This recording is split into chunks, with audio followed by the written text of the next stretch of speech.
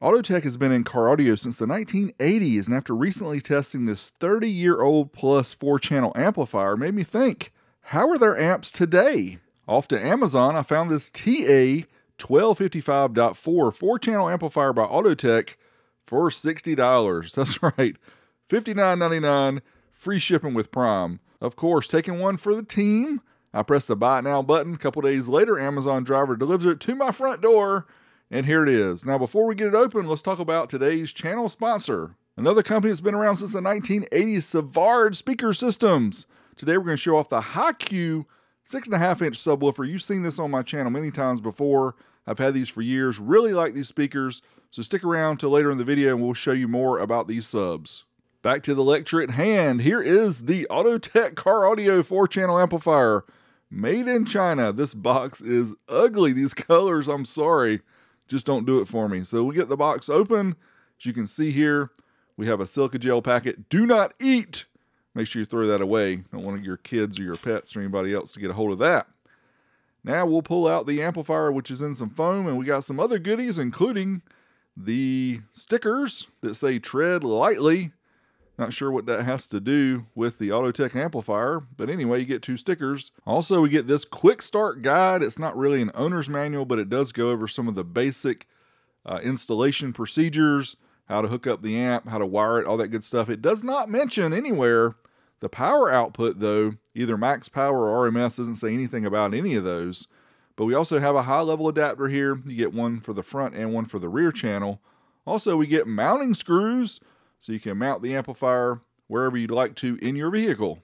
Next up, the meat of the box here, which is the amplifier. We'll get it out of the plastic. And once again, you can see I'm not a big fan of this look. It just looks super cheap. Maybe it's just because I'm an old guy. TA 1255.4, 1255 watts. Here is a comparison to the old school 7054 BTX amplifier that I showed on my other old school stereo channel. They're about the same size, and uh, just the old one feels a lot more substantial. It's a lot heavier, seems a lot better built. Back to the TA1255, which is the main source of today's video. Let's look at one end of the amp. You can see designed and engineered in the USA, proudly stamped there, or silkscreen on the amp. You can also see the high level input. You can see the crossover, which can be set to high pass, full, or low pass. Also, the adjustments for the high pass and low pass, a bass EQ, and the gain. That's for channels 3 and 4 on the left. Also, we'll see the 4 channel RCA inputs, as well as gain control, crossover, and high pass filter for channels 1 and 2. There is no low pass filter on channels 1 and 2. We also have the high level input and the power and protect LEDs as well. On the opposite side of the amp, we have the power connections as well as the speaker outputs, in addition to some fuses. Now, everything is via screw down terminals so you will need the fork style connectors to get it connected right. Ground, remote, and 12 volt again are all the same size connector here. Two 30 amp fuses for 60 amps total of fusing.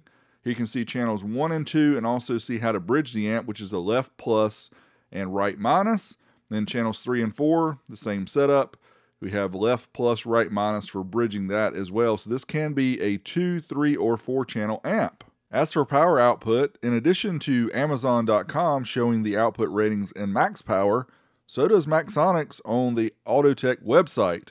4x300 at 2 ohms, 4x150 at 4 ohms, or 2x600 bridged at 4 ohms. Now, knowing max power means nothing, let's do some big dummy math. Take that 60 amps of fusing times 14.4, we get 864 watts. Class AB amps are about 50% efficient, so that shows 432 watts is about what we should expect out of this amp. As you guys know, we have the amp dyno so we can verify the true output power of this amp. But before we do that, let's look at the dimensions. Kind of an average size for an amplifier, about 10.2 inches for the length, 8.8 inches for the width, 2.1 inches for the height. Now, when we say 10.2 inches for the length, we are including these two end caps, which are plastic in nature and held on by three screws onto the amp, and they help cover the terminals. Now here are the style connectors that you should use for this amplifier and these fit right in. We're using 8 gauge for power and ground. Of course, if you stick around till later, we will show you what makes this amp tick. Right now we're going to tease you, but we will show the guts later. Let's fire up the SMD D'Amore Engineering Amplifier Dyno so that we can test the RMS power output of this amp, including Power output on watts on the left, the ohm load in the middle, the voltage of the dyno on the right. We'll also have the remote clamp so we can calculate efficiency. Yeah, let's do it. I'm pumped. First up, four channel mode. 4 ohms, rated 150 watts times 4 max. Let's find out what it does. Certified at 1 kilohertz to 1% distortion. Yeah, around 35 watts per channel at 14.13. Let's uh, reset the dyno here and try the uncertified test up to clipping and see what we get. Just a little bit more, 37 watts per channel at 14.1. What about dynamically? 1 kilohertz, 4 ohms, 4 channel mode. All the channels are loaded, two of them are tested, just slightly more. We got 35 and 39 watts, 14.2. I will show the efficiency later in the video when we show the results. Now let's try 2 ohms at 4 channels rated 300 watts by 4 max. Certified test, 1% distortion, 48 watts times 4. And they rate this 300 by 4 so that people will buy them. Just abysmal. Anyway, uncertified to clipping. Let's see what we get. Can we get that 50 watts? Very close. 49 watts times 4. That's right at 200 watts total, where it's rated 1200 watts. Yeah, that's pretty close, don't you think? No, it's not. Dynamically, 51 and 61 at 14.13. Now let's bridge the amp using the left positive, right negative of each speaker pair, going from four channels down to two. It's rated 600 watts by 2 max at 14.4 at 4 ohms. We're feeding it a 1 kilohertz signal. Let's see what we get here. About 104 watts per channel, pulling 32.8 amps, which is interesting because there's two 30 amp fuses with this amp, which uh, makes us kind of curious as where's all that extra current that's not needed here. Uncertified to clipping around 109 watts per channel, right at 14 volts. Dynamically, let's send the 1 kilohertz pulse tone into the amp. And here you can see we got a little bit of a channel difference going on 106 and 121, right at 14.1 volts. Now, this being an inexpensive Class AB amplifier, it's not rated for 1 ohm stereo loads or 2 ohms bridged, but of course, we're going to try it. So, certified 2 ohms bridged, we get about 113 watts average per channel at 13.9 volts. What about uncertified to clipping? And let's see here 117, 114. We're still not close to that 60 amps of uh, fusing, which is interesting because a lot of times with amps like this, when I test them, actually pull more current than the amps are rated, the fuses are rated. 124 and 139 there at 2 ohms bridge dynamically. Here you can see the results about 35 watts by 4 at 4 ohms, 48 by 4 at 2 ohms, efficiency right about 50%, maybe a little less. As for the bridge numbers, here you can see the results. Nothing anywhere near the rated power, max power, which we know is not valid. But what about that big dummy math? Let's go back to that. 432 watts? No, sir. More like 264 total. That was at 2 ohms bridge as well. Amp's not even rated there. I digress. Let's go hook it up to some speakers, see how it sounds.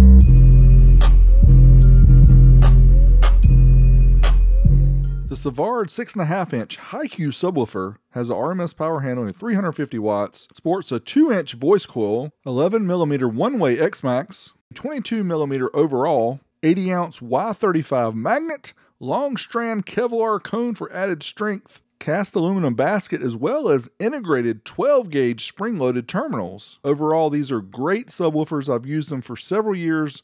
Thanks to Savard for sponsoring this video. If you want to check these out, make sure you check links in the video description. Use code WAL7 for 7% off these or other Savard subwoofers. Let's go on to more flexing.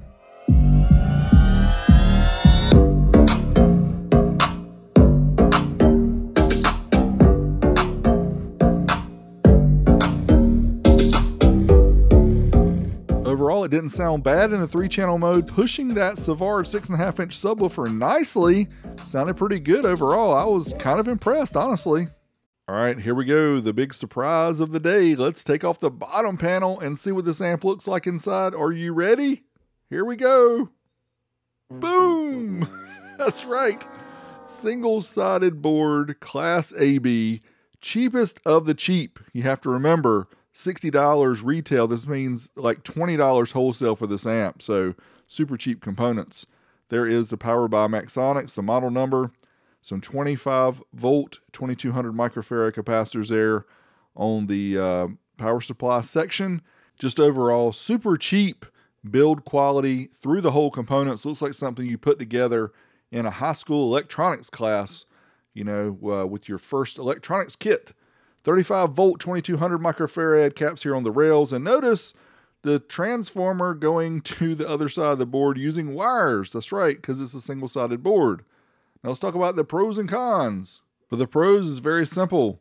It's inexpensive, about 60 bucks free shipping, and it has decent sound quality. And that's really it. Now for the cons, several of these, including ugly. Yeah, I kind of think it looks ugly. It's lightweight, it feels cheap. Doesn't have any remote bass knob. It is a four channel amp, so a lot of those don't have it. The gain controls and all that stuff is plastic, feels really cheap. It's rated in unicorn watts. That's right, 300 watts by 4 or 600 by 2 is a joke. And why do they use two 30 amp fuses? I don't know. It didn't need that much. Maybe just to fool people who thought it was more powerful than it really was. Well, there you have it the Autotek TA 1255.4 tested here today. Thank you as always for supporting my channel. Check me out, patreon.com slash old school stereo. Till next time, Big D, I'm out of here.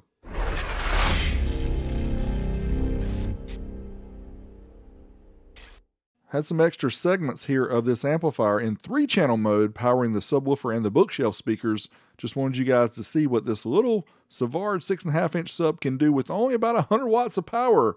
Let's see.